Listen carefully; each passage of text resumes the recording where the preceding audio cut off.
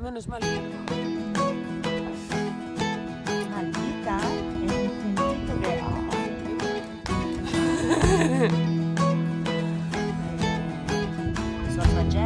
Muchas gracias. Profesora de español ibérica. Ay, no.